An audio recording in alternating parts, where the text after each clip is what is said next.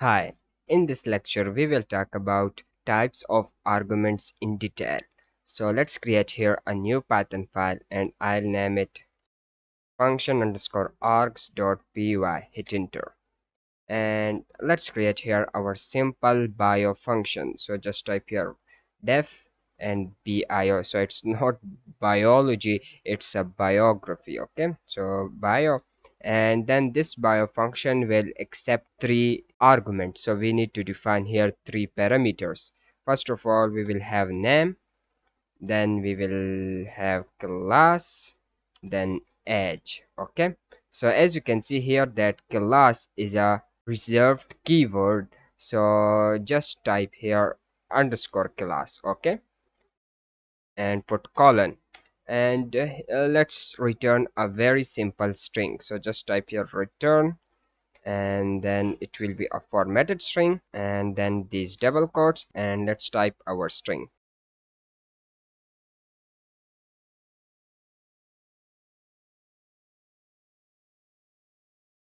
So this is a simple string that this function will return.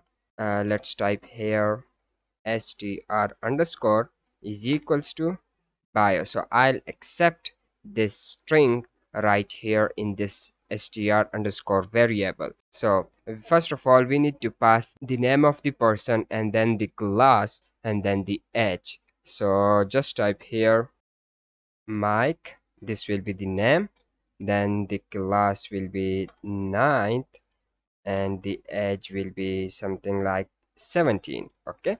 And now let's print the string str underscore. Let's save it. It's very simple. There is no logic in these three lines. So we got our output. My name is mike. So just give a space. Okay let's save it. And then i read in class 9 and my age is 17 awesome. Everything is fine. So this is called positional arguments. We are passing each argument according to the position of parameters defined in the function definition.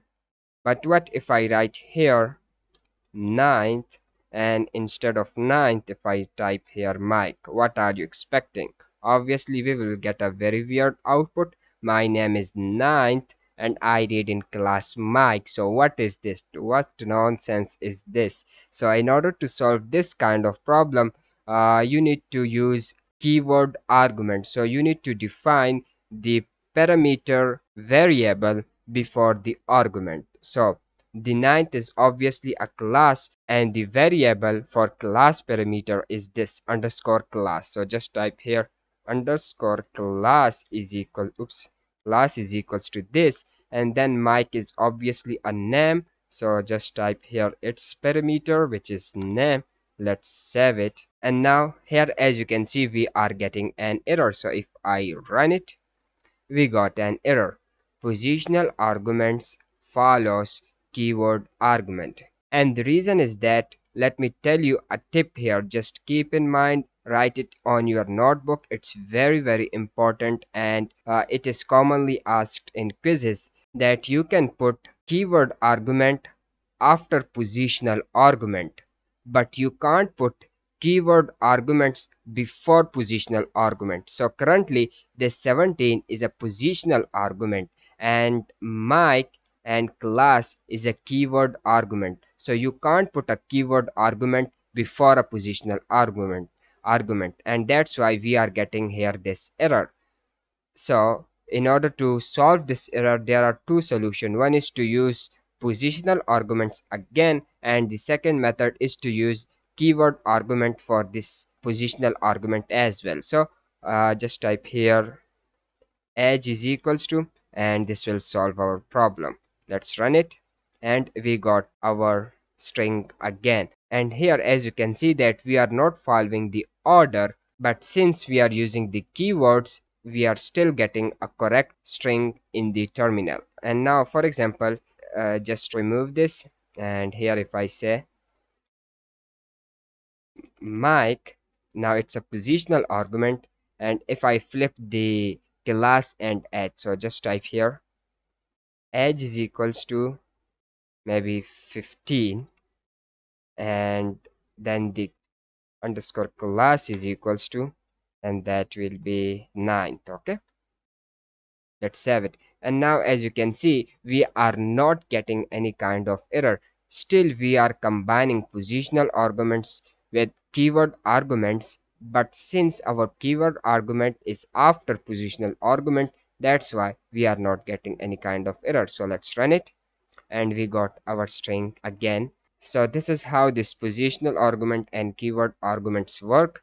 And now let's discuss default argument. So whenever you define your argument right in front of your parameter it is called as default argument. So for example just define here a default argument for this class. So is equals to and then the class will be maybe 10th okay?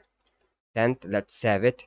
And now just remove it okay? Just remove it. And now again here we got an error and that is uh, as you hover on this edge it is saying that non-default argument follows default argument. So this is a default argument and this edge is a non-default argument. And that's why we are getting here the same errors. So let's remove this edge from here and let's put it before this class. And now everything is fine. Uh, let's save it. And here as you can see I am not defining any kind of class in this caller and still our function will work. So let's run it. And we got our string. Now here as you can see that python has replaced this underscore class parameter with the default value which is 10th right here as you can see here we got 10th uh, but what if i remove this default argument? Let's save it back. And now what are you expecting? Will we get an error or will the python execute the code? So just run it. And obviously we got an error because this bio function takes three arguments but we have given only two arguments. So this is another application of default arguments. So just undo it okay? Let's save it.